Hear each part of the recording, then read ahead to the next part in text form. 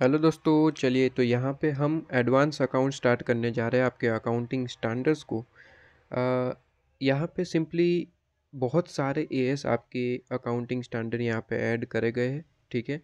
हम स्टार्ट करते हैं, एक के बाद एक हम स्टार्ट कर देंगे और कंप्लीट कर देंगे, कोई दिक्कत वाली बात नहीं है। इस वीडियो के लेक्चर के अंदर, ठीक है? इस वीडियो लेक्चर के अंदर आपको ए एस वन कंप्लीट करना है और आइए मेरे साथ यहाँ पे हम क्या करेंगे सर? सबसे पहले हम यहाँ पे बता दें आपको कि हम इस ए एस जब लेक्चर हमारे चल रहे हैं, इस ए एस लेक्चर के अंदर हम सबसे पहले कॉन्सेप्ट को कवर करेंगे, ठीक है? कॉन्सेप्ट को कवर करेंगे। यहाँ पे अगर मैं आपको बताऊँ तो सबसे पहले हम यहाँ पे कंसेप्ट को कवर करेंगे, ठीक है?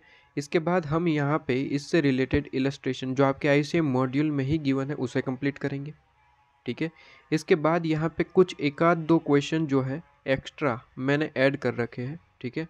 एक्स्ट्रा क्वेश्चन है मेरे पास, वो एक्स्ट्रा क्वेश्चन भी मैं कराऊँगा आपको। इसके बाद यहाँ पे आई मॉड्यूल में आपको प्रैक्टिकल क्वेश्चन गिवन है। वो प्रैक्टिकल क्वेश्चन हम कंप्लीट करेंगे। तो इन शॉर्ट हम कहें कि यहाँ पे आपका पूरे का पूरा ये जो चैप्टर है, वो कम्प्लीटली कंप्लीट होगा। मतलब कि इस वीडियो लेक्चर के कंप्लीट होने पे आपके क्वेश्चन प्रैक्टिस कंसेप्ट वगैरह सारी चीज़ें आपकी जो है कवर हो जाएगी। ठीक है? तो सिंपली आपको क्या करना है? आपको सिंपली यहाँ पे नोट डाउन करते रहना है, देखते रहना है और आपके इस वीडियो लेक्चर के साथ ही साथ आपका ए एस वन पूरे का पूरा कंप्लीट हो जाएगा। ठीक है? विथ क्वेश्चन प्रैक्टिस ओके चलिए। तो अब हम यहाँ पे स्टार्ट करते हैं अपना S one accounting standard one जिसका नाम है डिस्क्लोजर्स ठीक है? डिस्क्लोजर्स ऑफ़ अकाउंटिंग स्टैंडर्ड ठीक है?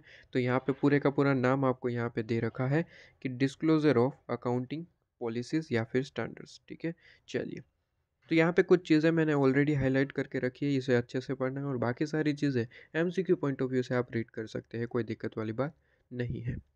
ठीक है? तो यहाँ पे कहता है, ये आपका हाईलाइट रह गया है यहाँ पे। ये कहता है कि अकाउंटिंग पॉलिसी जो है is unavoidable for the two reason दो ऐसे रीज़न है, जिसकी वजह से अकाउंटिंग पॉलिसी को हम अवॉइड नहीं कर सकते। ठीक है?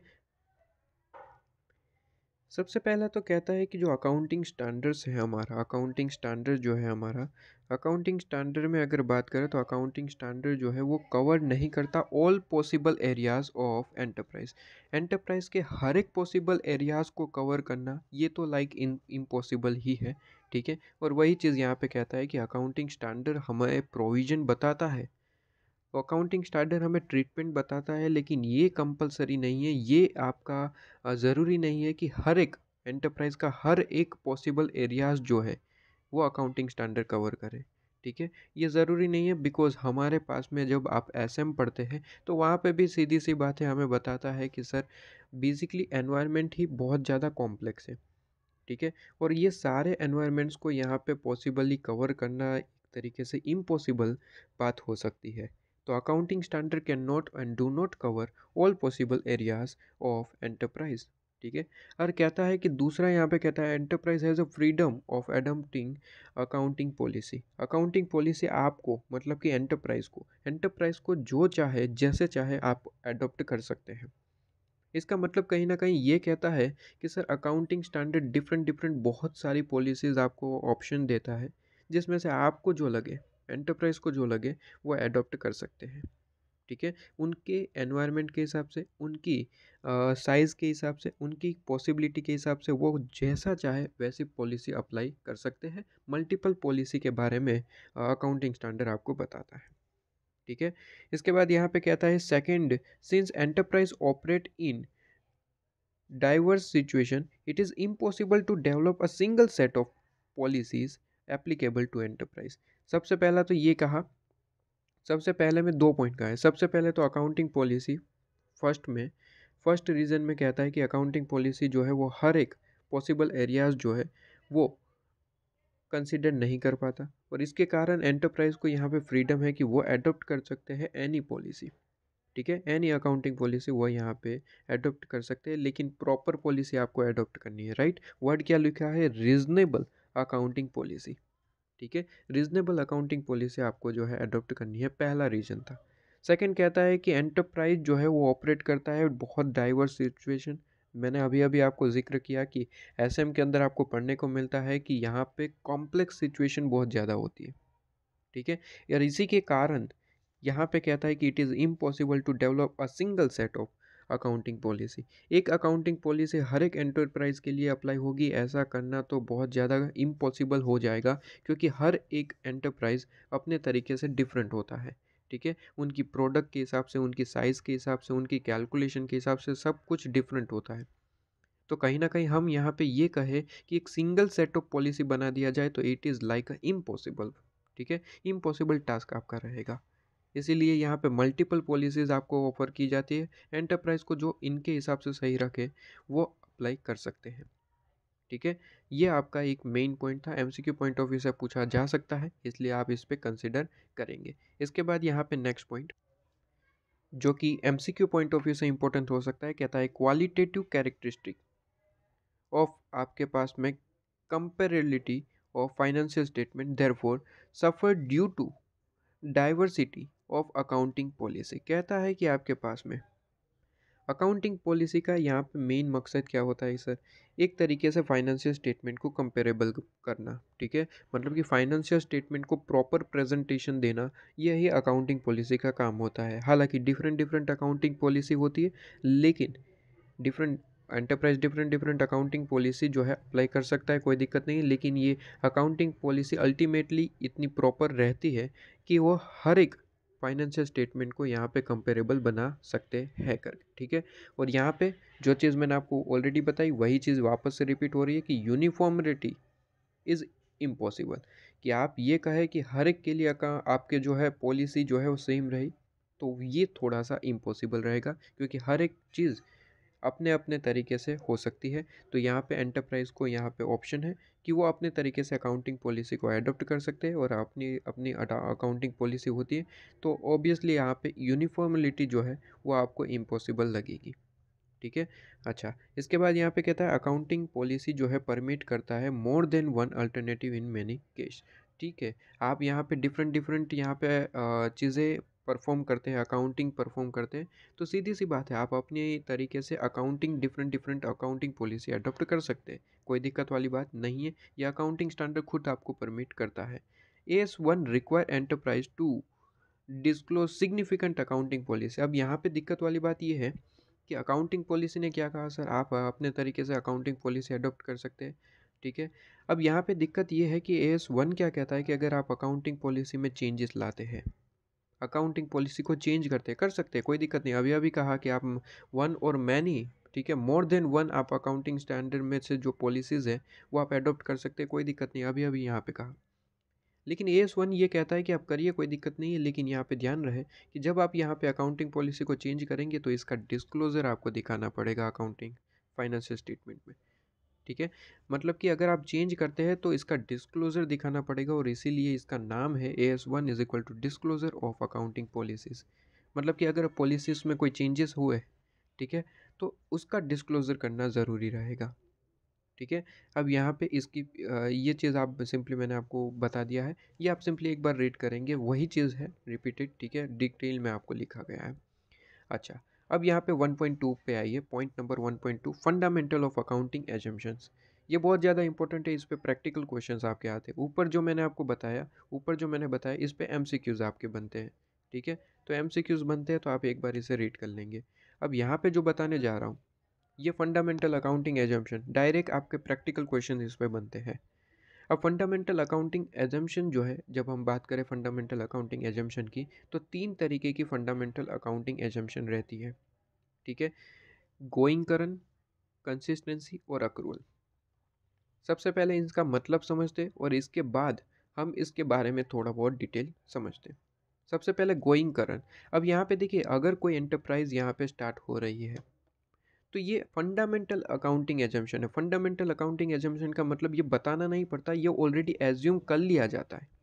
ठीक है? गोइंग करन कंसिस्टेंसी और अक्रूवल ये तीन चीज़ें ऑलरेडी एज्यूम कर ली जाती है कि अगर कोई एंटरप्राइज स्टार्ट हो रही है तो वो गोइंग करन पे है कंसिस्टेंसी पे है और अक्रूवल बेसिस पे है, वो एज्यूम कर लिया जाता है। ये बताने की ज़रूरत नहीं होती। ठीक है? इसलिए कहा जाता है ये फंडामेंटल अकाउंटिंग एजम्पन है। अब गोइंग करंट का मतलब क्या होता है? गोइंग करंट का मतलब होता है कि अगर आज यहाँ पे एंटरप्राइज कोई स्टार्ट हो रही है, ठीक है? अगर कोई एंटरप्राइज स्टार्ट हो रही है, ठीक है? तो हम यहाँ पे एज्यूम करते हैं it is assume that assume हो एजम्पन है। क्या एजम्पन है? ये एज्यूम किया जाता है कि ये लॉन्ग टाइम के लिए चलने वाली है।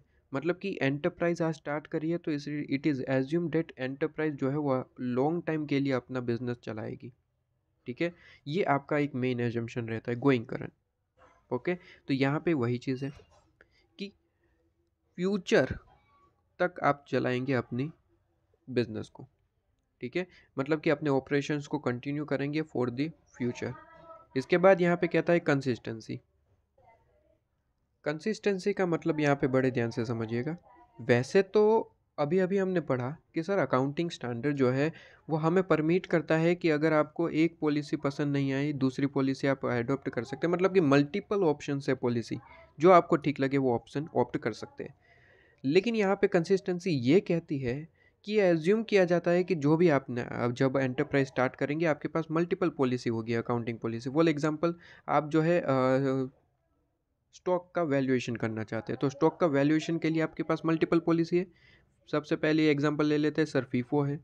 दूसरी भी पॉलिसी है, सर लीफो है, ठीक है? वेटेड एवरेज है, ठीक है? तीन चार तरीके की पॉलिसीज़ है आपके पास में, जिसमें से आप कोई भी पॉलिसी ऑप्ट कर सकते हैं। आपके पास में ऑप्शन है, आपको जो ठीक लगे, ठीक है? लेकिन कंसिस्टेंसी ये कहता है कि इन तीनों में से फॉर एग्जांपल ये तीन ही पॉलिसी है, वैसे बहुत सारी होती है, लेकिन तीन पॉलिसी है हमने मान लिया, ठीक है? ये तीन में से आपने कोई अडोप्ट कर लिया, मान लीजिए आपने वेटेड एवरेज ऑप्ट कर लिया। अब कंसिस्टेंसी ये कहती है कि वेटेड एवरेज ऑप्ट करने के बाद फिर उसे चेंज नहीं करना। मतलब कि वेटेड एवरेज ऑप्ट कर लिया वेटेड एवरेज से आप कंटिन्यूसली ये कैलकुलेशन कर रहे हैं और फिर आपको लगा कि नहीं नहीं, मुझे तो फीफो में जाना है, मुझे तो लीफो में जाना है तो ये आप नहीं करेंगे, ठीक है? कंसिस्टेंसी होनी चाहिए मतलब कि एक बार आपने पॉलिसी एडोप्ट कर ली तो फिर उस पर ही चलते रहो, क्योंकि अगर आप बार बार चेंज करेंगे तो सीधी सी बात है, इसका इफ़ेक्ट फाइनेंशियल स्टेटमेंट पे होगा और financial statement true and fair नहीं बनेंगे। ऑडिट आपका कहता है, ऑडिट आप पढ़ते हैं कि फाइनेंशियल स्टेटमेंट आपके ट्रू एंड फेयर होने चाहिए। अगर अकाउंटिंग पॉलिसी ही चेंज करते रहेंगे तो ट्रू एंड फेयर व्यू कैसे मिलेगा? ठीक है?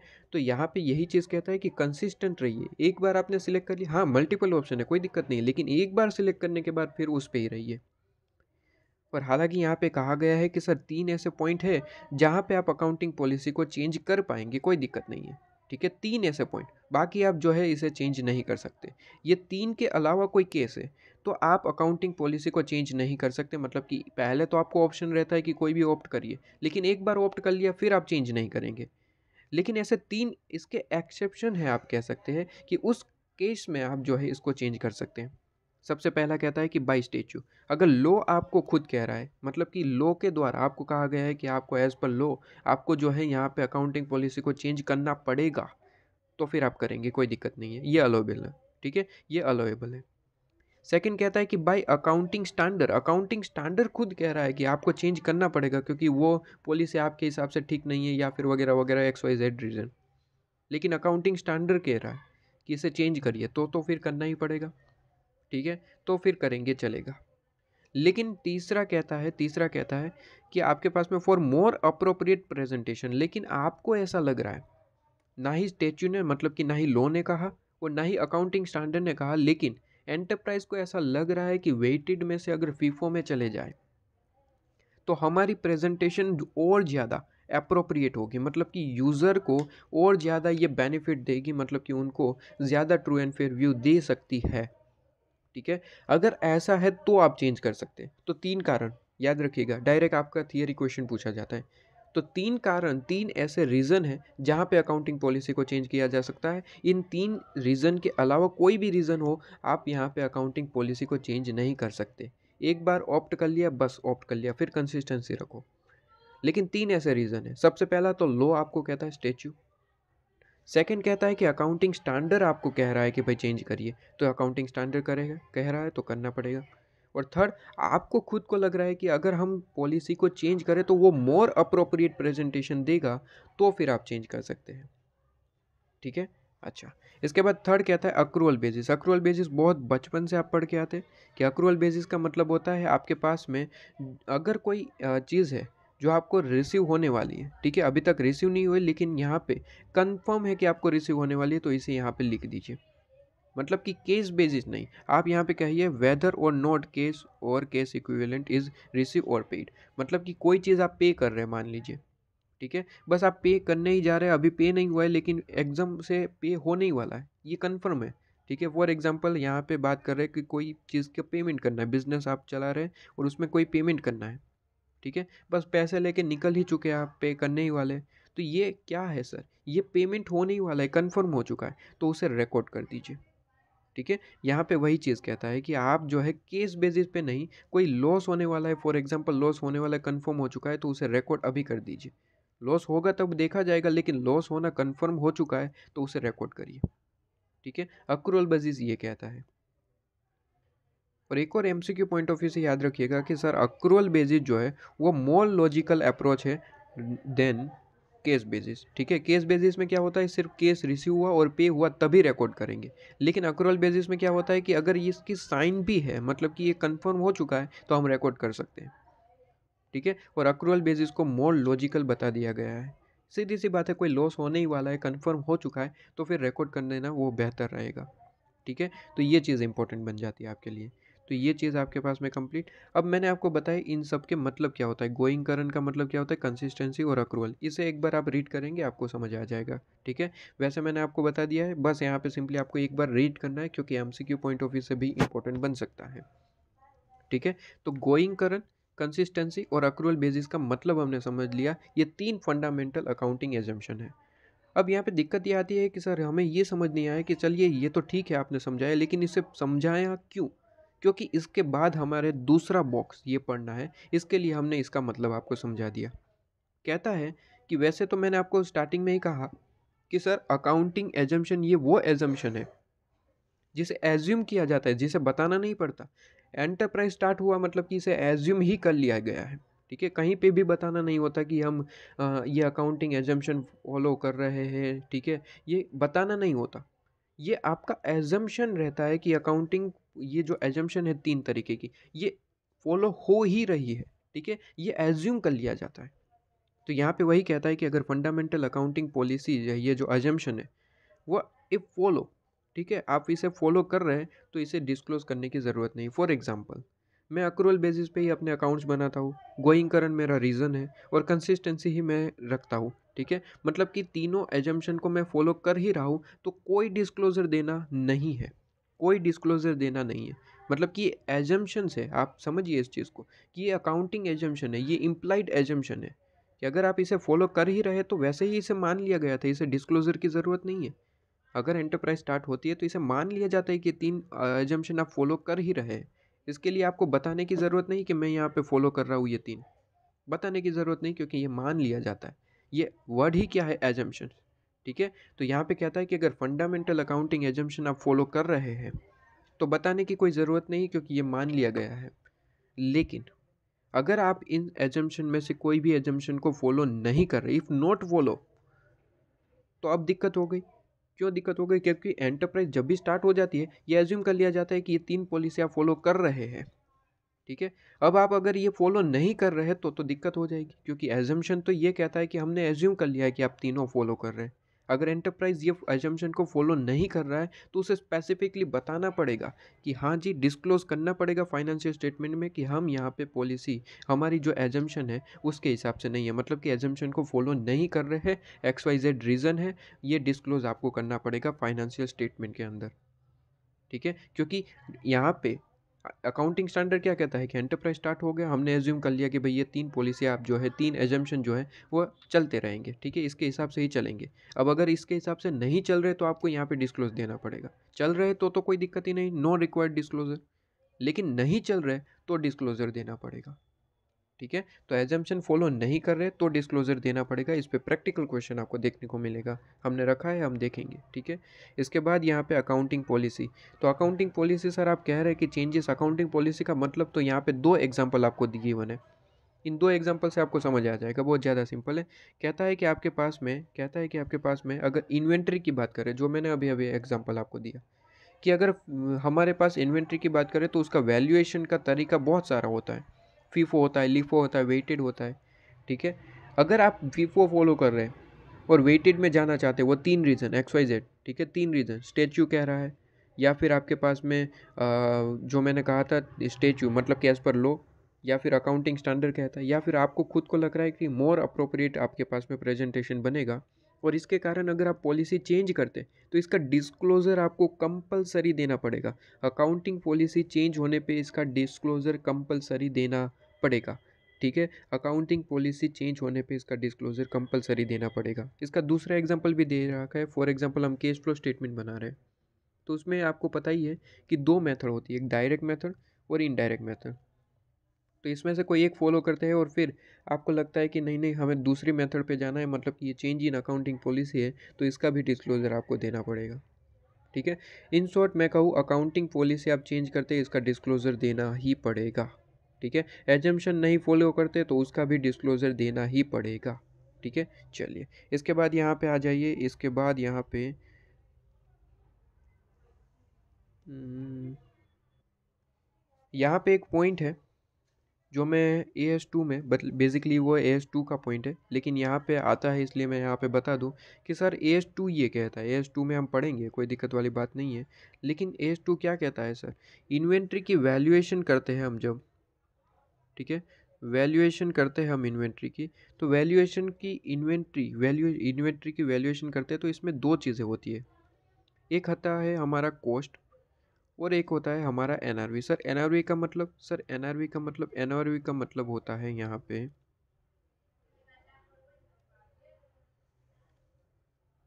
दूसरा होता है एनआरवी, ठीक है? एन एन का मतलब जिसकी मार्केट में वैल्यू है, ठीक है? इन्वेंट्री की मार्केट में वैल्यू कितनी है और कॉस्ट की वैल्यू कितनी है, ठीक है? फॉर एग्जांपल, एक इन्वेंट्री की वैल्यू है सौ रुपये कॉस्ट और एनआरवी है दो सौ। वैल्यूएशन रूल ये कहता है, चाहे कोई भी पॉलिसी आप फॉलो करें वेटेड फीफो ठीक है? लेकिन आप किस पे दिखाएँगे? कहता है कि वेटेड फीफो के हिसाब से आपने कैलकुलेशन करा, पूरे का पूरा कैलकुलेशन आ गया, ठीक है? कॉस्ट निकल के आ गई आपकी। इसके बाद कॉस्ट को एनआरवी से कंपेयर करिए और इन दोनों में से जो लोअर होगा, वही कंसिडर किया जाएगा, ये रूल कहता है। सबसे पहले तो आप कॉस्ट निकालिए। कॉस्ट के लिए आपके पास में अकाउंटिंग पॉलिसी है सर कौन कौन सी सर वीफो है वेटेड है, ठीक है? लीफो है, ये सारी चीज़ें हैं तो इससे आप कॉस्ट निकालेंगे। और फिर उसे एनआरवी से कंपेयर करेंगे, दोनों में से जो लोअर होगा, उसे ही मान लिया जाएगा वैल्यूएशन ठीक है? तो यहाँ पे कहता है रूल ये कहता है ए एस टू में मेरे साथ पढ़ेंगे कि cost or N R V whichever is lower ठीक है? Cost or N R V whichever is lower उसे हम कंसिडर करेंगे. राइट तो ये चीज़ यहाँ पे पढ़ के रख दीजिए आपके पास. ओके इसके बाद यहाँ पे आ जाइए नेक्स्ट पॉइंट पे. हाँ. अकाउंटिंग पॉलिसी में काफ़ी सारी पॉलिसीज़ है. सबसे पहला आता है प्रूडेंस प्रूडेंस क्या कहता है? प्रूडेंस ये कहता है कि आपको सिंपली क्या करना पड़ता है? फ्यूचर इवेंट्स को इवेल्युएट करना पड़ता है, ठीक है? और कोई लॉस है आपके पास में? कोई लॉस है तो उससे रिलेटेड प्रोविज़न बनानी पड़ेगी। फॉर एग्जांपल कोई लाइबिलिटी है आपके पास में, ठीक है? लाइबिलिटी है तो उसके रिलेटेड आप प्रोविज़न बनाते हैं। फॉर एग्जांपल बेड डेट तो बेड डेट का ये प्रोविज़न जो बनाना, वही है एक तरीके से प्रूडेंस कि जो फ्यूचर में हमें लगता है कि वो लॉस होगा। इससे रिलेटेड हम प्रोविज़न बनाते हैं बेसिकली ठीक है? तो प्रॉफिट पे नहीं बनता लॉस पे बनता है। लॉस जो हमें लगता है कि फ्यूचर में हो सकता है, उससे रिलेटेड हम आज ही प्रोविज़न बनाते इसी का नाम है प्रूडेंस इसी का नाम है प्रूडेंस राइट इसके बाद यहाँ पे सेकंड कहता है सब्सटेंस ओवरफॉर्म सब्सटेंस ओवरफॉर्म ठीक है? यहाँ पे एक सेंटेंस भी बहुत ज़्यादा यूज़फुल रहता है कि रियलिटी ओवर लीगालिटी ठीक है? यहाँ पे ये कहता है सर इसका एग्जांपल भी आप यहाँ पे लिख सकते हैं एग्जांपल सब्सटेंस ओवर फॉर्म का एग्जांपल है hire purchase case hire purchase case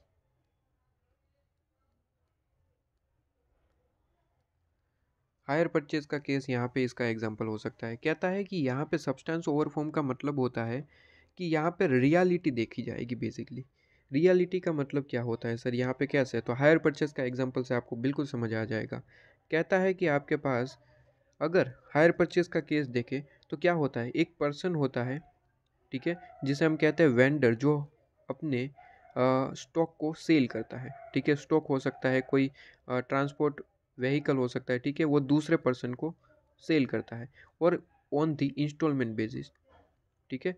instalment basis मतलब कि यहाँ पे क्या होता है कि यहाँ पे जो सेल हो रहा है, ठीक है, सेल हो रहा है, वो जो भी असेट है, वो सामने वाले को दे दिया जाता है और सामने वाला उसे यूज़ करता है और टाइम टू टाइम इसका इंस्टॉलमेंट पे करता है। कहीं ना कहीं आप देखिए तो यहाँ पे, एग्जांपल वही यहाँ पे मैं आपको दिखाता चला हूँ, कि एक पर्सन है, ठीक है, जिसे कहते हैं हायर वेंडर, या आप हायर परचेज चैप्टर में पढ़ते हैं, लेकिन हालाँकि इसे आई थिंक हटा दिया गया आपके सिलेबस से, देखेंगे। ठीक है? तो मैं यहाँ पे एग्जांपल दे रहा हूँ। और परचेजर होता है, ठीक है? ये वेंडर और परचेजर दो पर्सन है।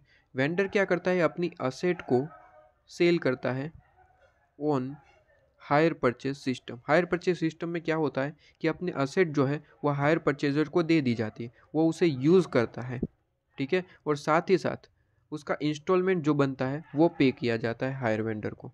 ठीक है? मतलब कि time to time instalment basis पे इसका पेमेंट होता है। फॉर एग्जांपल पाँच लाख की असेट है तो पाँच लाख रुपए इंस्टॉलमेंट में इसे हाई एंड वेंडर को पे किया जाएगा। फॉर एग्जांपल एक लाख एक लाख एक लाख इस तरीके से। ठीक है? तो यहाँ पे अगर हम देखें तो हायर परचेज केस में क्या होता है? असेट तो ऑलरेडी यहाँ पे चली गई। किसके पास में सर असेट यहाँ पे चली गई हायर परचेजर के पास में। ठीक है? अब मुझे बताइएगा, बड़े ध्यान से समझ के कि सर ये असेट अल्टीमेटली किसकी मानी जाएगी? हायर वेंडर की मानी जाएगी या फिर हायर परचेज़र की? तो कुछ स्टूडेंट कहेंगे कि सर हायर वेंडर की ही मानी जानी चाहिए क्योंकि अभी तक पूरा पेमेंट नहीं मिला है। इंस्टॉलमेंट पे ये पेमेंट कर रहा है। तो जहाँ तक पूरा इंस्टॉलमेंट पे ना हो जाए, तब असेट कौन किसकी मानी जाएगी सर? एज़ पर तो हम लीगली देखें तो सर बुक्स ऑफ़ अकाउंट में तो इनका ही नाम होगा। सीधी सी बात है, अभी तक असेट इनकी हुई कहाँ है? वो तो इंस्टॉलमेंट पे कर रहे हैं राइट आपने कहा सर लीगली अगर देखा जाए लीगली अगर देखा जाए तो तो फिर यहाँ पे वेंडर की ही असेट है, ठीक है? और इन रियलिटी देखा जाए रियलिटी में देखें तो कहीं ना कहीं आप देखिए कि परचेज़र ये असेट को क्यों यूज़ कर रहा है? कहीं ना कहीं इसका परचेज करने का मकसद है, इसीलिए तो ये इंस्टॉलमेंट पे कर रहा है। तो रियलिटी देखा जाए रियलिटी देखा जाए तो अल्टीमेटली क्या होने वाला है? अल्टीमेटली ये परचेज़र की ही असेट होने वाली है। इन फ्यूचर मान लेते हैं ठीक है? अभी इंस्टॉलमेंट क्यों पे कर रहे हैं? क्योंकि फ्यूचर में ये असेट किसकी? हो जाए परचेज़र की। इसीलिए तो परचेज़र इंस्टॉलमेंट पे कर रहा है। तो कहीं ना कहीं यहाँ पर रियलिटी ये कहती है कि सर परचेज़र का होना चाहिए और लीगलिटी ये कहती है कि सर वेंडर का ही है ओबियसली क्योंकि अभी तक लास्ट इंस्टॉलमेंट पे नहीं हुआ है। तो यहाँ पे क्या कहता है सर? सब्सटेंस ओवर फॉर्म ये कहता है कि सर ये रियलिटी देखी जाएगी। जब बेनिफिट की बात आएगी फॉर एग्ज़ाम्पल हम डेप्रिसिएशन की बात करेंगे तो सर डेप्रिसिएशन क्या होता है सर एक तरीके से हमारा क्या होता है सर एक नॉन केस आइटम है, ठीक है? जो हम यहाँ पे अपने प्रॉफिट को कम करने में यूज़ करते हैं। ये डेप्रिसिएशन हेल्प करता है कि हम टैक्स को कम करें टैक्स कम पे करना पड़ता है डेप्रिसिएशन के कारण, ठीक है? तो ये बेनिफिट किसको दिया जाएगा? डेप्रिसिएशन कौन ले पाएगा? तो यहाँ पे कहता है सब्सटांस ओवरफॉर्म मतलब कि यहाँ पे वो लिया जाएगा जो रियल में रियलिटी में अपने ओनर है, ठीक है? और रियलिटी में ओनर कौन है सर? रियलिटी में ओनर जो है, वो परचेजर है। तो डेप्रिसिएशन कौन क्लेम करेगा सर? परचेजर। वैसे लगता है कि सर वेंडर को ही लेना चाहिए, लेकिन नहीं।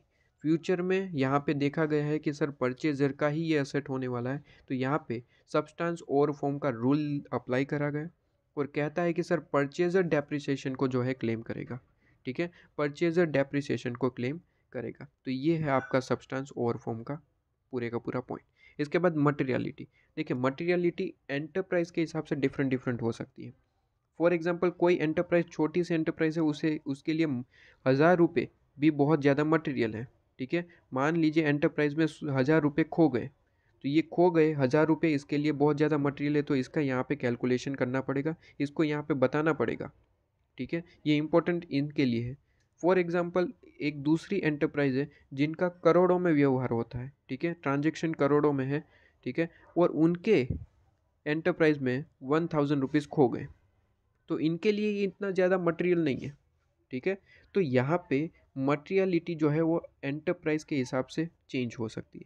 तो यहाँ पे एक एग्जांपल भी दे रखा है कि कंपनी है, इन्हें डिस्क्लोज करना पड़ेगा, should disclose, company should disclose by way of not additional information regarding any item of income or expenditure, which is exceed one percent मतलब कि अगर फॉर एग्ज़ाम्पल कोई लॉस हुआ है, कोई यहाँ पे एक्सपेंस हुआ है, जो एक परसेंट ऑफ़ रेवेन्यू ठीक है? ये कंपनी की ओन पॉलिसी होती है राइट कंपनी को यहाँ पे खुद से डिसाइड करना होता है कि कितनी हमारी मटेरियलिटी रहेगी। जैसे कि मैंने यहाँ पे एग्जांपल दिया कि कंपनी ने हज़ार रुपये को अपनी मटेरियलिटी मान के चला है। वो कंपनी वाइज डिफरेंट डिफरेंट होता है। तो यहाँ पे ये कंपनी ने क्या डिसाइड किया? सर वन परसेंट हमारी मटेरियलिटी रहेगी। कि वन परसेंट ऑफ़ रेवेन्यू से एक्सीड कर जाता है तो वो हमारे लिए मटेरियल है और उसे हम क्या करेंगे? सर डिस्क्लोज़ करेंगे। अगर मटेरियलिटी चीज़ है तो उसे डिस्क्लोज़ करना कंपलसरी है। ठीक है? तो कंपनी ने क्या किया सर? यहाँ पे डिस्क्लोज़र देखा और डिस्क्लोज़ करना पड़ेगा अगर वन परसेंट से एक्सीड करती है तो। ये वन परसेंट कहाँ से आया सर? ये अपनी ओन एजम्पन होती है कंपनी की, ठीक है? क्वेश्चन वाइज क्वेश्चन आपको यहाँ पे बताएगा, ठीक है? यहाँ पे इससे रिलेटेड कोई दिक्कत नहीं अगर इस पर क्वेश्चन पूछेगा तो बताएगा कि सर कंपनी की मटेरियलिटी दो परसेंट है।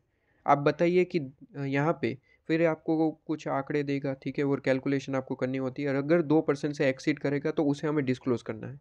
दो परसेंट से कम है तो डिस्क्लोज़ करने की ज़रूरत नहीं है।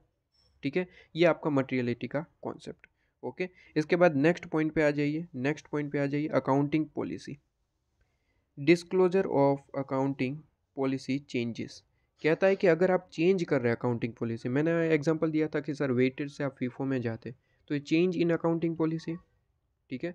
तो यहाँ पे तो सर मैंने आपको पहले ही बता दिया है कि अगर अकाउंटिंग पॉलिसी में चेंज करते तो कंपलसरी कंपलसरी डिस्क्लोज़ करना पड़ेगा कंपलसरी डिस्क्लोज़ करना पड़ेगा। ये मैंने कहा था सर हाँ जी कहा था सर। इससे रिलेटेड और ज़्यादा डिटेल पढ़ते हैं यहाँ से।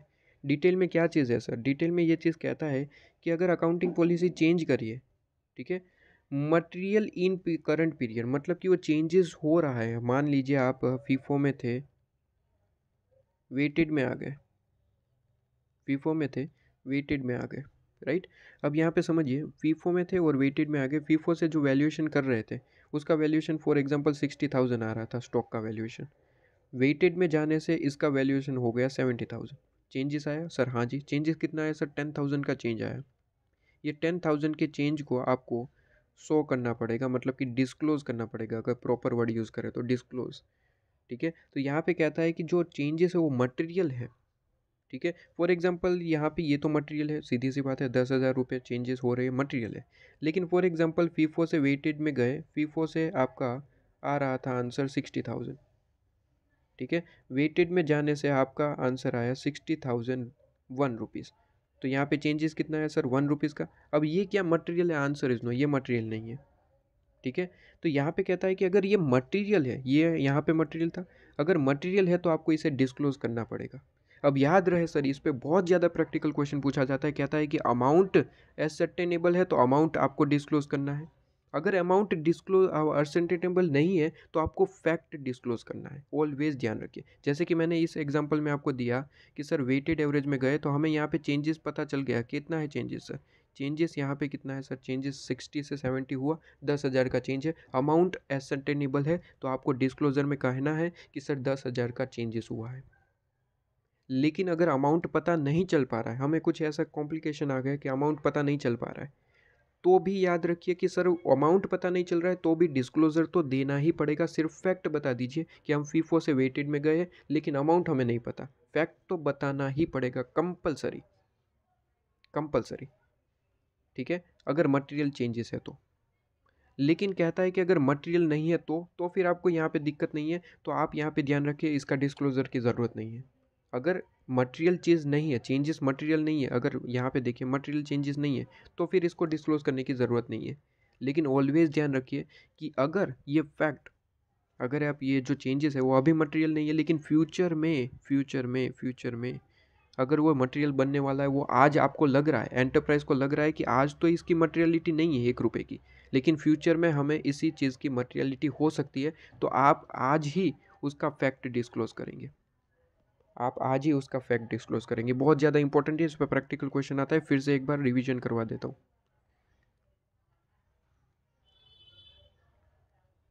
देखिए, कहता है कि सबसे पहले तो क्या अकाउंटिंग पॉलिसी आपने चेंज करी? आंसर इज़ यस तो सिंपली ये देखिए कि क्या वो मटेरियल था या फिर मटेरियल नहीं था। तो सबसे पहले मटेरियल की बात करें तो अगर वो मटेरियल था तो आपको कंपलसरी डिस्क्लोज करना पड़ेगा। अब डिस्क्लोज़र में दो तरीका हो सकता है सर या तो आपको अमाउंट चेंजेस जो हुआ है, उसकी अमाउंट पता है तो आप अमाउंट डिस्क्लोज़ कर देंगे। लेकिन अमाउंट नहीं पता है तो उसका फैक्ट डिस्क्लोज़ करना पड़ेगा। क्वेश्चन पूछा जाता है। क्वेश्चन ये पूछा जाता है कि, सर, हमारे पास में हमने अकाउंटिंग पॉलिसी को चेंज किया, ठीक है?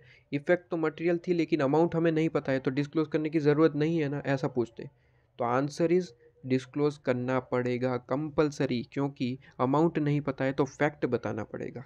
लेकिन डिस्क्लोज़ तो करना ही पड़ेगा। तो अमाउंट पता है तो अमाउंट बताइए अमाउंट नहीं पता है तो फैक्ट बताना पड़ेगा। ठीक है? और दूसरी, अगर मटेरियल चीज़ नहीं है तो फिर आपको जो है यहाँ पे डिस्क्लोज़ करने की ज़रूरत नहीं, लेकिन ध्यान रहे सर, अगर वो जो मटेरियल आज नहीं है, वो फ्यूचर में मटेरियल बनने वाला है तो फिर आपको आज ही उसका फैक्ट दिखाना पड़ेगा।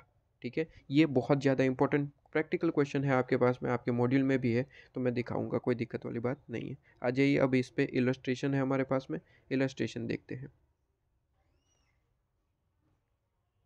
इलस्ट्रेशन वन कहता है आपके पास। इलस्ट्रेशन वन क्या कहता है? एक मिनट ज़रा हाँ। इलस्ट्रेशन वन क्या कहता है? वो देखिए। इलस्ट्रेशन वन कहता है कि in the books of M S Prashant limited Prashant limited करके कोई कंपनी है और इनकी बुक्स में क्लोजिंग इन्वेंट्री जो है बुक्स में जो क्लोजिंग इन्वेंट्री जो है वो thirty first March two thousand two कह सकते हैं, ट्वेंटी टू कह सकते हैं, ठीक है? कोई भी मान लीजिए थर्टी फ़र्स्ट मार्च को यहाँ पे जो क्लोजिंग इन्वेंट्री वो दिख रही है one lakh sixty three thousand की फीफो मेथड के हिसाब से। मतलब कि कंपनी जो है फीफो मेथड यूज़ कर रही है और फीफो मेथड के हिसाब से इनका क्लोजिंग इन्वेंट्री का वैल्यूएशन जो है वो कितना बन रहा है? One lakh sixty three thousand. इतना हमें समझ में आया, ठीक है? अब आगे कहता है कि company decide to change from FIFO method to weighted average method. हमने पढ़ा था सर ये थियरी याद करिए, जल्दी से थियरी याद करेंगे। सर वैसे तो अकाउंटिंग पॉलिसी को चेंज नहीं किया जा सकता, लेकिन तीन ऐसे केस थे। अकाउंटिंग स्टैंडर्ड कहता है तो हमें चेंज करना पड़ेगा। लो कहता है तो हमें चेंज करना पड़ेगा और तीसरा, हमें लगता है कि प्रेजेंटेशन और ज़्यादा बेहतर हो सकती है, ठीक है? तो हम यहाँ पे अकाउंटिंग पॉलिसी को चेंज करेंगे। अब यहाँ पे क्वेश्चन ये प्रैक्टिकल है। प्रैक्टिकल क्वेश्चन में क्या होता है कि डायरेक्टली आपको बता दिया जाता है कि हमने चेंज कर दिया है। तो हमें एज्यूम करके चलते कि वो तीन चीज़ आपने फॉलो कर दी है, ठीक है? चलिए, इसके बाद कहता है कि इन लोगों ने क्या किया है? डिसाइड किया है कि फीफो से हम वेटेड में चले जाएँगे। और वेटेड में जाने से कहता है कि on the basis of weighted average method closing inventory का वैल्यूएशन किया गया तो हमें पता चला क्लोजिंग इन्वेंट्री का अमाउंट कितना है? वन फोर्टी सेवन थाउज़ेंड मतलब कि one lakh forty seven thousand और रियलाइजेबल वैल्यू रियलाइजेबल वैल्यू का मतलब होता है एनआरवी नेट रियलाइजेबल वैल्यू वही, ठीक है? तो एनआरवी कितनी है? वन नाइन्टी फाइव थाउज़ेंड ठीक है? अब कहता है कि क्या डिस्क्लोज़र करिए, क्या डिस्क्लोज़र रिक्वायर्ड है चेंजेस इनको रिकॉर्ड करना? आंसर इज़ मैंने ऑलरेडी कहा था कि सर अगर आप जो है अकाउंटिंग पॉलिसी को चेंज करते हैं तो कंपलसरी उसका डिस्क्लोज़र देना ही पड़ेगा अभी अभी हमने पढ़ा, ठीक है? अच्छा। तो यहाँ पे डिस्क्लोज़र तो देना पड़ेगा, और डिस्क्लोज़र देंगे तो कितने अमाउंट का वो दिक्कत है। तो सबसे पहले देखिए, हमें सिंपली कंपेयर करना है फीफो मेथड के हिसाब से इसका अमाउंट कितना था? सर फीफो के हिसाब से इसका अमाउंट था one sixty three thousand one lakh sixty three thousand अब यही अमाउंट जो है, यही अमाउंट जो है, वो मुझे बताइए वेटेड के हिसाब से कितना हुआ?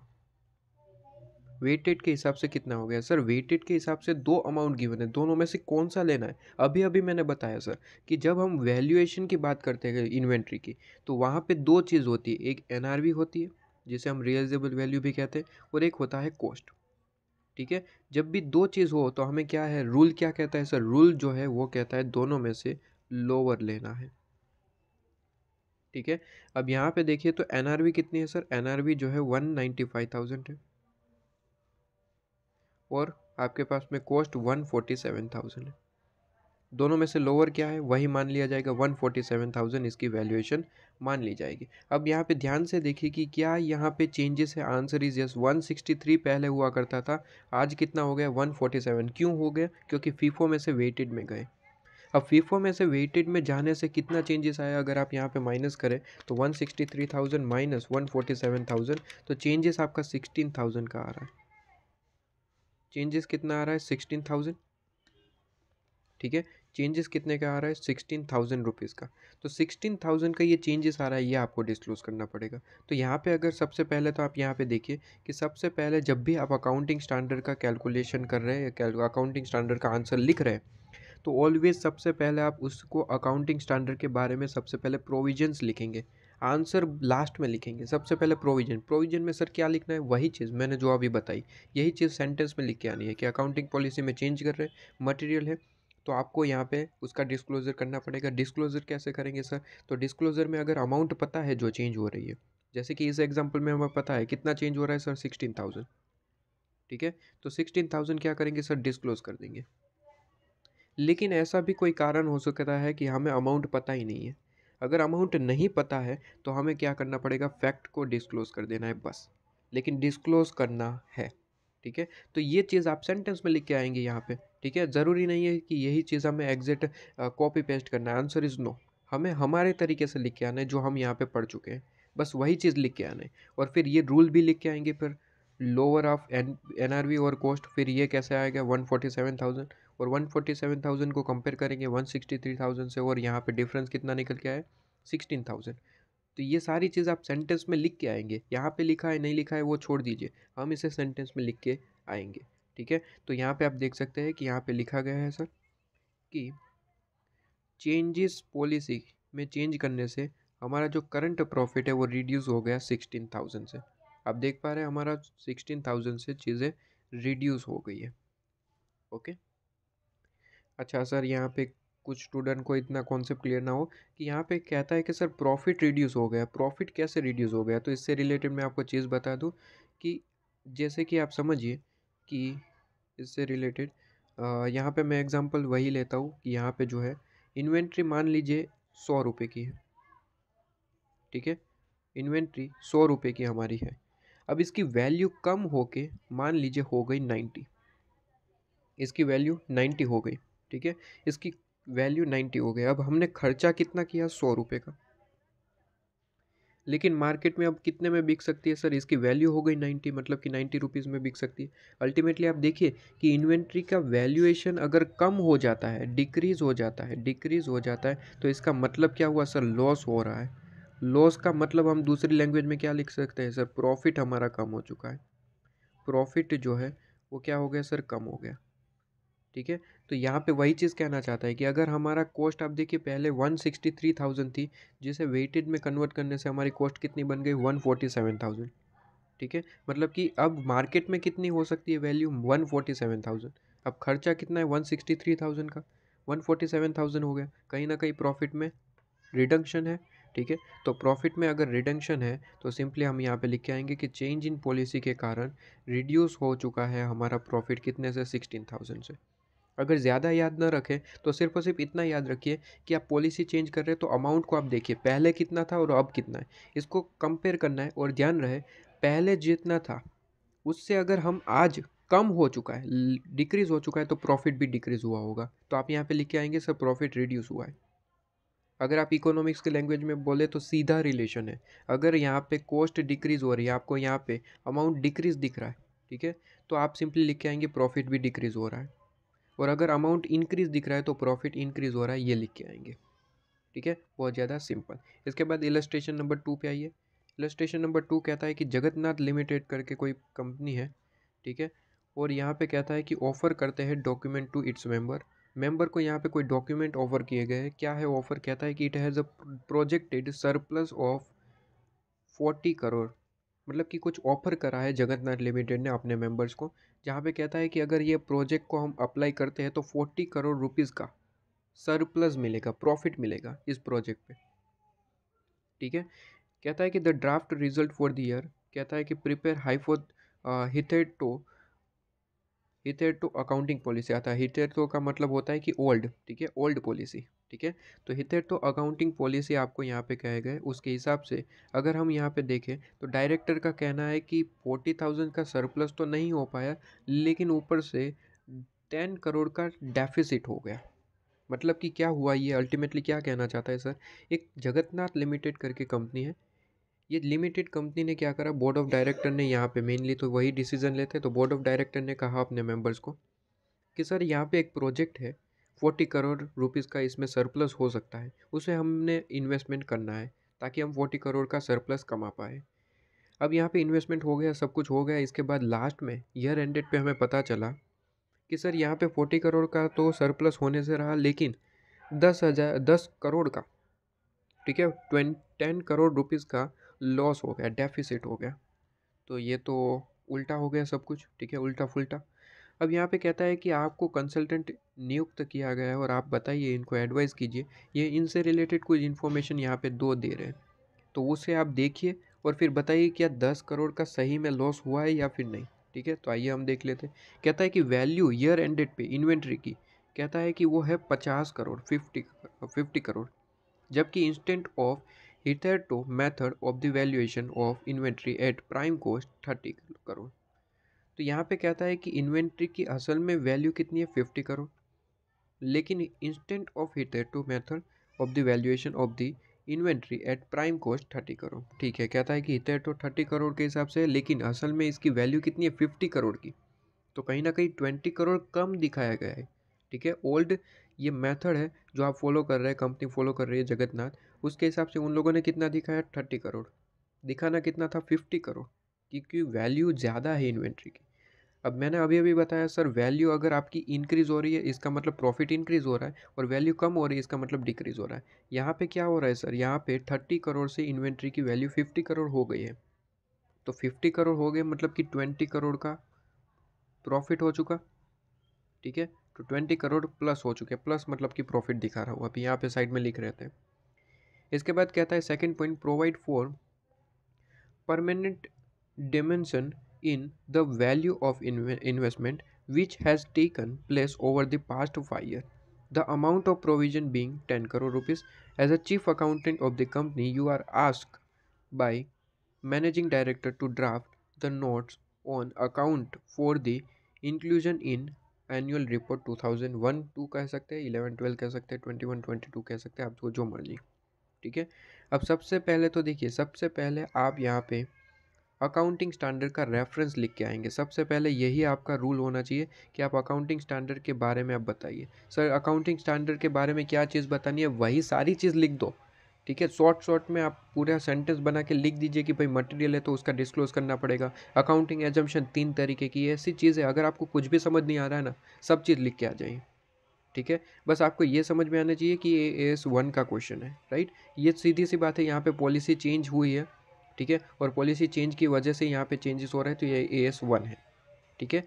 अच्छा अब यहाँ पे सिंपली ये कहता है कि आपके पास में दो केस बनाए गए। सबसे पहला तो यहाँ पे ट्वेंटी करोड़ का आपको प्रॉफिट हो गया, ठीक है? और दूसरा कहता था कि हमारे इन्वेस्टमेंट जो है इन्वेस्टमेंट जो है आपके पास में, उसकी वैल्यू परमानेंट डिक्लाइन हो गए डेमेंशन का मतलब होता है डिक्लाइन हो जाना। इन्वेस्टमेंट की वैल्यू जो है, वो आपकी डिक्लाइन हो चुकी है। कितना? सर, प्रोविज़न बनाना पड़ा टेन करोड़ का। ठीक है? अब सीधी सी बात है, हमें कोई फ्यूचर में लॉस होने वाला है तो हम क्या करते हैं? प्रोविज़न बनाते हैं। दस करोड़ की प्रोविज़न बनाई दस करोड़ का प्रोविज़न बनाना मतलब सर, प्रॉफिट कम करना। लॉस होने वाला है ना? अगर बैड डेट, फॉर एग्जांपल, हमारे होने वाला होता है तो हम क्या बनाते हैं, सर? प्रोविज़न। प्रोविज़न बनाना, इसका मतलब क्या है, सर? प्रॉफिट को कम करना। ठीक है? तो यहाँ पे प्रॉफिट कम हो रहा है। तो अल्टीमेटली अगर मैं देखूँ तो ट्वेंटी थाउज़ेंड का प्रॉफिट हो रहा है और टेन थाउज़ेंड का लॉस हो रहा है। सॉरी ट्वेंटी करोड़ का प्रॉफिट और टेन करोड़ का लॉस। अल्टीमेटली टेन करोड़ का प्रॉफिट आपके पास में बच रहा है। टेन करोड़ का प्रॉफिट आपके पास में बच रहा है। तो कहीं ना कहीं ये जो बोर्ड ऑफ़ डायरेक्टर का कहना था कि टेन करोड़ का डिक्लाइन हो रहा है, ये तो गलत हो गया। क्योंकि यहाँ पे हम देख पा रहे हैं कि सर टेन करोड़ का डिक्लाइन नहीं, टेन करोड़ आपके पास में बचे हैं। टेन करोड़ का आपको प्रॉफिट मिला है, ठीक है? टेन करोड़ आपके पास में प्रॉफिट है। तो यहाँ पे लिख के आएँगे, सर, कि एज़ पर यहाँ पे sub point number one twenty crore का आपको इंक्रीजमेंट देखने को मिला है। ट्वेंटी करोड़ का आपको इंक्रीजमेंट देखने को मिला है। और सेकंड चीज़ आपके पास में कहता है कि टेन करोड़ का डिक्रीजमेंट देखने को मिला है। अल्टीमेटली आपके पास में अमाउंट कितना बन जाता है, sir? Provision so made has reduce the profit disclosure ten crore. कि प्रोविज़न बनाने से टेन करोड़ डिक्लोज डिक्रोज हुआ है। ठीक है? इसका मतलब हुआ कि सर, वैसे तो ट्वेंटी करोड़ का प्रॉफिट था। वैसे तो ट्वेंटी करोड़ का प्रॉफिट था इन्वेस्टमेंट के, इन्वेंट्री के हिसाब से। लेकिन हुआ क्या कि टेन करोड़ क्यों कम करना पड़ा? क्योंकि हमारे पास में क्या हुआ सर? हमारे पास में बैड डेट हो गया इन्वेस्टमेंट में। ठीक है? इसकी वजह से हमारे पास में प्रोविज़न बनानी पड़ी। वो प्रोविज़न बनाने का कारण अब प्रॉफिट हो गया दस करोड़। ठीक है? तो ये सारी की सारी चीज़ें सेंटेंस में लिख के आते हैं बस, कि वैसे तो ट्वेंटी करोड़ का प्रॉफिट था, लेकिन टेन करोड़ हमारा नुकसान हुआ, वो हमें प्रोविज़न का यहाँ से माइनस करना पड़ा और बचा टेन करोड़ अब, ठीक है? तो वो चीज़ आप यहाँ पे लिख के आते हैं, बहुत ही ज़्यादा सिंपल सा क्वेश्चन ठीक है? इसके बाद illustration number three illustration number three कहता है कि एक्स वाई जेड लम कंपनी करके है engage in the business of financial service and कहता है is undergoing tight liquidation position मतलब कि इनकी फुल टाइट लिक्विडेशन पोजिशन है मतलब कि कहीं ना कहीं कंपनी बंद हो जाने वाली है, ठीक है? कंपनी बंद होने की कगार पे है। कहते हैं कि आपके पास में जो असेट्स ऑफ़ द कंपनी है, वो ब्लॉक हो चुकी है मतलब कि ये सारी चीज़ें ब्लॉक हो चुकी है। सारी चीज़ों पे जो है, वो क्या कहते हैं चार्ज क्रिएट हो चुका है। ठीक है? अब कंपनी के पास कुछ भी नहीं बचा। इन लोगों ने क्या करा? यहाँ पे कोर्ट में एप्लीकेशन दे दी है कि हम यहाँ पे क्या होने वाले सर? कोर्ट में एप्लीकेशन मिल चुकी है कि यहाँ पे सिंपली ये ख़त्म होने वाली है। ठीक है? कहता है X Y Z has accept inter corporate deposit I C D S ठीक है? ये कोई डिपॉजिट का नाम है। आपको दे रखा है कि एक्स वाई जेड लिमिटेड ने कोई डिपॉजिट एक्सेप्ट करी है। कहता है they there were claim at various rate of interest interest rate यहाँ पे क्लेम किया जा रहा है किसके द्वारा sir from lender from due to I C D to the date of repayment यहाँ पे डिपॉजिट ले रखी है तो उस पर इंटरेस्ट क्लेम किया जा रहा है सामने वाले के द्वारा। तो कंपनी इंटरेस्ट पे करना, करने वाली है। तो कहता है company has provide interest as per the term of contract till the due date मतलब कि कंपनी जो है, वो इंटरेस्ट पे कर रही है। फुल टाइट लिक्विडेशन है, फिर भी इंटरेस्ट पे कर रही है। बहुत बढ़िया है। तो यहाँ पे पे कर रही है ठीक है कहता है कि a not for non provision of the interest on the due date to date of repayment was affected in the financial statement on account of uncertainties existing regarding the determination of the account and in the absence of any specific legal obligation at the present as per the term of contract and the company considered that these claims are in the nature of claim against the company not acknowledge as a depth company का ये कहना है कि, sir, यहाँ पे हम कोई भी किसी भी तरीके की प्रोविज़न नहीं बनाएँगे। ठीक है? क्यों? क्योंकि यहाँ पे कहता है कि कंपनी कहती है कि हमारे यहाँ पे सीधी सी बात है, हम यहाँ पे तो लिक्विडेट होने वाले हैं। तो हम यहाँ पे डेप्थ क्यों लिखे? सीधी सी बात है, अगर यहाँ पे ये डिपॉजिट आपने एक्सेप्ट करा है, ये डिपॉजिट एक्सेप्ट करा है तो एक तरीके से डेप्थ है, आपको इंटरेस्ट पे करना पड़ेगा। तो कंपनी कह रही है कि हम यहाँ पे ना ही डेप्थ वगैरह लिखेंगे, ना ही कोई प्रोविज़न वगैरह बनाएँगे, कुछ भी नहीं करेंगे। तो पूछा गया कंपनी से क्यों? तो कंपनी का कहना है कि हम तो लिक्विडेट होने वाले हैं, ठीक है, बहुत जल्द लिक्विडेट होने वाले हैं। तो ये सारी चीज़ें लिखने से क्या फ़ायदा? तो यहाँ से आपको पूछा जा रहा है, आपको पूछा जा रहा है कि state whether treatment done by the company क्या ये करेक्ट है या फिर नहीं? कंपनी ने क्या किया है? कंपनी ने यहाँ पे डिस्क्लोज कर दिया है सिर्फ़ और सिर्फ़ कहाँ पे? Way of note in the account instead of making provision in the statement of profit and loss ठीक है? इसका यहाँ पे प्रोविज़न बनाने की जगह, इन लोगों ने सिर्फ़ और सिर्फ़ लास्ट में एक नोट लिख दी, ठीक है? कि यहाँ पे हमने कोई डेप ले रखा है और ये चीज़ है हमारे पास में। तो यहाँ पे दिक्कत वाली बात हो सकती है। क्या? कि हमने पॉलिसी के बारे में पढ़ा था, तीन चीज़ें पढ़ी थी सर एक तो सबसे पहले प्रूडेंस पढ़ा दूसरा हमने सब्सटेंस ओवर फॉर्म ठीक है? हमने वहाँ पे हायर परचेज का एग्जांपल दिया और तीसरा हमने अक्रूवल बेसिस पे भी पढ़ा था, ठीक है? एक बार मैं आपको यहाँ पे वापस से बता दूँ। अक्रूवल बेसिस हमारा कहाँ गया सर तीन एजम्पन थी गोइंग करन से रिलेटेड ठीक है? ये चीज़। तीन हमने फंडामेंटल एजम्पन पढ़ी थी गोइंग करन कंसिस्टेंसी और अक्रूवल और कम, अपनी जो यहाँ पे पॉलिसी है पॉलिसी से रिलेटेड पॉलिसी से रिलेटेड तीन चीज़ें पढ़ी थी सब्सटेंस ओवरफॉर्म मटेरियलिटी और तीसरी चीज़ थी प्रूडेंस ठीक है? ये तीन चीज़ें पढ़ी थी और ये टोटल छः पॉइंट हो जाते हैं। ये छः पॉइंट पढ़ने से हमें क्या पता चलता है सर हमें छः पॉइंट पता चलता है छः पॉइंट्स बेसिकली अक्रूवल बेसिस और प्रूडेंस के हिसाब से हमें ये पता चलता है कि अगर कोई लॉस होने वाला है तो उसकी कंपलसरी प्रोविज़न बनानी पड़ती है। आप कौन सी सिचुएशन में ये फ़र्क नहीं पड़ता। क्या कंपनी चल रही आंसर इज़ यस कंपनी तो अभी तो चल ही रही है। तो चल रही है तो प्रोविज़न बनानी पड़ेगी। ठीक है? तो यहाँ पे यही आपका मेन पॉइंट रहता है कि आपको यहाँ पे कहता है कि हालाँकि अक्रोल बेसिस ये कहता है कि कोई लॉस होने वाला है तो आपको यहाँ पे प्रोविज़न बनानी ही पड़ेगी। ठीक है? जो कंपनी कह रही है कि हम नोट्स लिख दिए, काम हो जाएगा आंसर इज़ नो आपको प्रोविज़न बनानी पड़ेगी इससे रिलेटेड राइट तो यहाँ पे आपको कहता है कि treatment done by the company is not providing the interest amount for the due date to the date of repayment is incorrect correct नहीं है। और क्यों करेक्ट नहीं है? क्या करेक्ट होना चाहिए था? तो करेक्ट यहाँ पे लिखा है कि कंपनी को यहाँ पे इसे प्रोवाइड करना पड़ेगा लाइबिलिटी की तरह। ठीक है? मतलब कि इसे ट्रीट करना पड़ेगा लाइबिलिटी की तरह इसे कंसिडर करना पड़ेगा, ठीक है? तो यही चीज़ आपके पास में आ जाती है। तो इन शॉर्ट यहाँ पे क्या कहता था सर यहाँ पे शॉर्ट ये कहता था कि जो अमाउंट आपने पे नहीं करी मतलब कि आपकी लाइबिलिटी बनी है, उसके लिए कंपलसरी आपको प्रोविज़न बनानी थी। लेकिन कंपनी ने क्या किया? प्रोविज़न नहीं बनाई, सिर्फ़ और सिर्फ़ नोट लिख दिया कि हमारी ये लाइबिलिटी है। तो क्या ये सही है? आंसर इज़ नो यहाँ पर लिख के आएँगे कि सर ये गलत है। अक्रूवल बेसिस कहता है कि अगर कोई यहाँ पर लाइबिलिटी आपकी है तो उसके लिए प्रोविज़न बनानी पड़ेगी। ठीक है? सर यहाँ पे कंपलसरी क्या? इस तरीके से ही थियरीज लिख के आनी पड़ेगी आंसर इज़ नो आप अपने तरीके से लिख के आएँगे, अपनी लैंग्वेज में लिख के आएँगे, चलेगा, ठीक है? इसके बाद यहाँ पे प्रैक्टिकल क्वेश्चन पे आ जाएँगे। प्रैक्टिकल क्वेश्चन में यहाँ पे इंपॉर्टेंट ये एक क्वेश्चन कहता है प्रैक्टिकल में।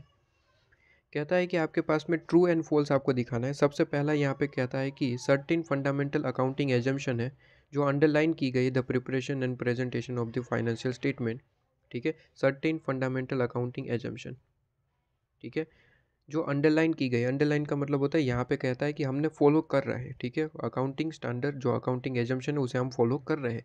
कहता है they are usually specifically stated word क्या लिखा? स्पेसिफिकली स्टेटेड मतलब कि बताना पड़ेगा। बिकॉज़ बिकॉज़ देयर एक्सेप्टेंस यहाँ पे कहता है कि अकाउंटिंग पॉलिसी और अकाउंटिंग जो फंडामेंटल अकाउंटिंग एजम्पन है, उसे एंटरप्राइज फॉलो कर रही है। और कहता है कि उसे हमें डिस्क्लोज़ करना पड़ेगा बिकॉज़ हम इसे फॉलो कर रहे हैं। तो क्या ये आंसर सही है? आंसर इज़ नो मैंने आपको ऑलरेडी दो तीन बार बताया कि सर, अगर आप अकाउंटिंग एजम्पन को फॉलो कर रहे हैं तो अब तो ये एजम्पन ही था ना तो फिर डिस्क्लोज़र देने की कोई ज़रूरत ही नहीं है। तो ये क्या है सर? ये गलत है। ये आपका गलत है फॉल्स है। क्यों फॉल्स है? क्योंकि अगर आप फॉलो कर रहे हैं तो तो डिस्क्लोज़र की ज़रूरत ही नहीं होती तो डिस्क्लोज़र की ज़रूरत ही नहीं होती। ठीक है? इसके बाद सेकंड पॉइंट क्या कहता है? सेकंड पॉइंट कहता है if the fundamental accounting assumption are not follow अगर फॉलो नहीं करते, ठीक है? अगर फॉलो नहीं करते in presentation and preparation of financial statement कहता है specifically disclosure is not required ये लो जी, ये गलत कर दिया। अगर आप फॉलो नहीं करते, तब तो डिस्क्लोजर देना ही पड़ेगा।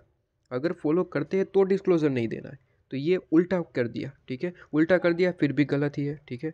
फिर भी गलत ही है फॉल्स क्योंकि अगर आप अकाउंटिंग एजम्पन को फॉलो नहीं करते हैं तो कंपलसरी डिस्क्लोज देना पड़ेगा, जो कि ये गलत कह रहा है। इसके बाद कहता है all significant accounting policy adopt in the preparation and presentation of financial statement should form a part of financial statement answer is yes सारी अकाउंटिंग पॉलिसी जो आप फॉलो करते हैं, ठीक है? उससे रिलेटेड जितनी भी चीज़ें हैं, क्या वो फाइनेंशियल स्टेटमेंट का पार्ट होगा? Answer is yes financial statement को ट्रू एंड फेयर व्यू देने के लिए तो अकाउंटिंग पॉलिसी हम अडोप्ट करते हैं। ठीक है? तो यहाँ पे ये चीज़ आपके पास में करेक्ट है। यस ट्रू ठीक है? ऑलवेज ध्यान रखिए ट्रू एंड फॉल्स आपको पूछे जाएँगे तो आपको रीज़न लिख के आने हैं इस तरीके से। ठीक है? तो रीज़न को अच्छे से एक बार रीड करिएगा। आपको रीज़न अपनी लैंग्वेज में लिख के आना है, कोई दिक्कत वाली बात नहीं है। तो ये थर्ड हो गया। इसके बाद फोर्थ क्या कहता है? कहता है कि any changes in accounting policy which are material impact material है। ठीक है? चेंजेस किया है और चेंजेस वो जो है वो मटेरियल हुआ है। ठीक है? तो कहता है where the amount by which any item in the financial statement is affected by such changes is not ascertainable मतलब कि अमाउंट असर्टेनेबल नहीं है। तो कहता है कि इसको फैक्ट जो है, वो नहीं ज़रूरत है इंडिकेट करना। बताइए, क्या यह सही है? आंसर इज़ नो गलत है। मैंने आपको बताया था कि सर, अगर कोई मटेरियल इम्पैक्ट है मटेरियल चेंजेस है, और वो हो रहा है तो आपको सिंपली क्या करना है? आपको सिंपली ये देखना है कि क्या अमाउंट एसेटेनेबल है। अगर अमाउंट एसेटेनेबल है तो अमाउंट लिख दो। लेकिन अगर अमाउंट नहीं पता है तो मैंने क्या कहा था, सर फैक्ट लिखना पड़ेगा, लेकिन डिस्क्लोज़र ज़रूरी है। इसने क्या कहा, सर फैक्ट लिखने की ज़रूरत नहीं है। तो ये तो सेंटेंस क्या हो जाएगा, सर? सेंटेंस क्या हो जाएगा, सर? फॉल्स क्योंकि फैक्ट तो आपको डिस्क्लोज करना ही है। Fact should be indicate fact को आपको इंडिकेट करना ही पड़ेगा। ठीक है? इसके बाद ये थियरी क्वेश्चन है। पूछा जाता है एग्ज़ाम्पल इसे ये इंपॉर्टेंट है। जो मैंने आपको पढ़ाया वही पे बेस है, आप सिंपली इसे एक बार रीड करेंगे। एक और क्वेश्चन मुझे करवाना था, जो पास्ट ईयर का क्वेश्चन है, जो यहाँ पे कवर नहीं है, ठीक है, वो मैं करवाता हूँ एक मिनट ये लीजिए आपके सामने वो क्वेश्चन है। इस क्वेश्चन को आप देखिए। स्टूडेंट्स यहाँ पे बहुत ज़्यादा गलती करते हैं तो हम एक बार देख लेते हैं कि कहता है कि कोई के के लिमिटेड है, ठीक है? के के लिमिटेड करके कंपनी है। कहता है was making provision for non moving stock non moving stock का मतलब है कि जो बिकती नहीं है। अभी हमारे पास में स्टॉक ऐसा ही पड़ा हुआ है जो मार्केट में बिक नहीं रहा है, इसे कहते हैं नॉन मूविंग स्टॉक कहता है कि on the no issue having accrual for the last twelve month up to thirty first March two thousand twenty one मतलब कि लास्ट ट्वेल्व मंथ से ये नॉन मूविंग स्टॉक पड़ा हुआ है मतलब कि बारह महीने हो गए, ये बिक नहीं, बिक ही नहीं रहा है। तो कंपनी कहता है कि company now want to make provision based on technical evaluation मतलब कि इसकी प्रोविज़न बनाने के लिए यहाँ पे कंपनी कोई नई ट्रिक लेके आई है और नई ट्रिक के हिसाब से वो कहता है कि टोटल वैल्यू ऑफ़ स्टॉक जो है वो वन ट्वेंटी लाख रुपीज़ का है। कहता है प्रोविज़न रिक्वायर्ड जो है टेक्निकल इवेल्यूएशन के हिसाब से थ्री लाख है। ठीक है? और provision require based on twelve month no issue कहता है फोर लाख है। मतलब कि वैसे तो आपका अगर आप देखा जाए तो प्रोविज़न कितनी रिक्वायर्ड है? फोर लाख की। लेकिन कंपनी ने कोई नई टेक्निक अपने हिसाब से बनाई है कहता है, टेक्निकल इवेल्यूएशन हमने किया है और हम यहाँ पे तीन लाख की प्रोविज़न बनाना चाहते हैं। तो यहाँ पे कहता है कि ये चेंज इन अकाउंटिंग पॉलिसी है और चेंज इन अकाउंटिंग पॉलिसी है, does this amount to be change in accounting policy और can the company change the method of accounting accounting? क्या कंपनी ने यहाँ पे चेंजेस करे तो आंसर इज़ नो। देखिए, प्रोविज़न बनाना कंपलसरी है। प्रोविज़न कितनी बनानी है वो आपके ऊपर है। ठीक है? प्रोविज़न यहाँ पे आपको लग रहा है, वो कंपनी के ऊपर है कंपनी की जैसी कैपेसिटी कंपनी को लग रहा है कि चार करोड़ के नुकसान होने वाला है, लेकिन हम तीन करोड़ की बनाना चाहते हैं तो वो कंपनी के ऊपर है। और कंपनी अपने तरीके से कोई भी टेक्निक यूज़ कर सकती है, ठीक है? तो यहाँ पे मल्टीपल स्टूडेंट यहाँ पे बहुत ज़्यादा कंफ्यूज होते हैं। ऐसा क्वेश्चन पूछा गया, ये पास्ट ईयर का ही क्वेश्चन है आपका, ठीक है? पास्ट ईयर का ही क्वेश्चन है, पूछा गया था। तो स्टूडेंट यहाँ पे लिख के आया कि हाँ जी, ये अकाउंटिंग पॉलिसी का चेंजेस है, लेकिन ये अकाउंटिंग पॉलिसी में चेंज नहीं है। ठीक है? ये अकाउंटिंग पॉलिसी में कोई चेंज नहीं है, क्योंकि प्रोविज़न में कोई चेंजेस करना प्रोविज़न बनाने में हमें कोई अमाउंट में चेंजेस करना इट इज़ नॉट आपके पास में accounting policy change in accounting policy नहीं है। फीफो से लीफो में जाना, ये चेंज इन अकाउंटिंग पॉलिसी मतलब कि ऐसी चीज़, ऐसी पॉलिसी जो आपके अकाउंट्स को इफ़ेक्ट करती है, ठीक है? तो वो चीज़ है अकाउंटिंग पॉलिसी तो यहाँ पे याद रखिएगा कि सर, अगर हम प्रोविज़न की टेक्निकल इवैल्यूएशन करते हैं और उसमें कोई चेंजेस करते हैं और इससे रिलेटेड हम यहाँ पे प्रोविज़न कम ज़्यादा बना रहे हैं तो वो चेंज इन अकाउंटिंग पॉलिसी नहीं है, ठीक है? वो चेंज इन अकाउंटिंग पॉलिसी नहीं है। तो यहाँ पे कहता है कि नॉन मूविंग इन्वेंट्री जो हम चार से तीन पे जा रहे हैं मतलब कि चार लाख की करनी चाहिए थी प्रोविज़न लेकिन हमने क्या करा है सर? तीन लाख की। It is not a material ठीक है? क्योंकि वो चेंजेस इन अकाउंटिंग पॉलिसी है ही नहीं, ठीक है? तो वन लाख रुपीज़ जो है आपको यहाँ पे जो दिख रहा है डिफरेंस तो आपके सामने सिंपली यहाँ पे क्या कहता है कि क्या चेंजेस ये अकाउंटिंग पॉलिसी में चेंज है? आंसर इज़ नो ये अकाउंटिंग पॉलिसी में कोई चेंज नहीं है। ये अकाउंटिंग पॉलिसी का चेंज नहीं है। तो पहले का आंसर क्या है सर नो उसके बाद कहता है कि क्या?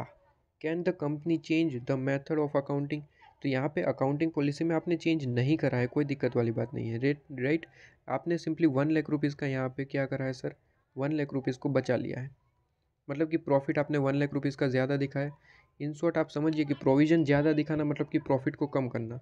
आप यहाँ पे क्या कर रहे हैं? चार लाख की प्रोविज़न दिखानी चाहिए थी। आप तीन लाख की दिखा रहे हैं मतलब कि एक लाख का प्रॉफिट आपका टैक्सेबल हुआ। ठीक है? मतलब कि एक लाख का प्रॉफिट आपका इंक्रीज़ रहा। ओके तो हम यहाँ पे यही लिख के आएँगे कि ये चेंजेस इन अकाउंटिंग पॉलिसी तो नहीं है, लेकिन आपको इतना डिस्क्लोज देना पड़ेगा कि हमने जो है यहाँ पे क्या करा है सर टेक्निकल इवेल्यूशन करा है और एक लाख रुपए का प्रॉफिट हमारा इंक्रीज़ हो रहा है इससे। बस इतना लिख के आने का। ये चेंजेस इन अकाउंटिंग पॉलिसी तो नहीं है, ठीक है? ये आपका क्वेश्चन था, जो कि पूछा जा सकता है, इसलिए मैंने इसी के साथ आपको यहाँ पे करवा दिया है। तो पूरे का पूरा ए एस वन जो है, वो मेरे बिहाफ पे ये कंप्लीट हो जाता है। आपको सिंपली इतने ही क्वेश्चन होते हैं, इससे ज़्यादा क्वेश्चन जो है डिफरेंट टाइप के नहीं पूछे जाते हैं। सिंपली कॉन्सेप्ट आपको पता है, इससे रिलेटेड काफ़ी सारे हमने क्वेश्चन कर लिए। बस ये एस वन में it is more than sufficient I think ठीक है? अब R T P M T P question देख सकते हैं। मोस्टली सेम ही क्वेश्चन आपको देखने को मिलेंगे ऐसे, ठीक है? लेकिन R T P M T P ज़रूर करिएगा ओके चलिए।